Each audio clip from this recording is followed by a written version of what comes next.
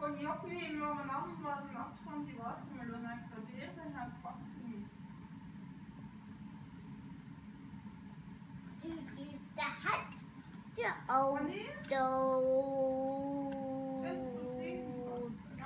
Do. Do de hand.